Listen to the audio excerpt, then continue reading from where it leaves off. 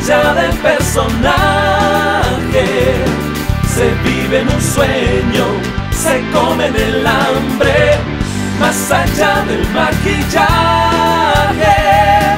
Se lleva por dentro, se llora con sangre, más allá del horizonte. Está la razón de buscarnos y encontrarnos. A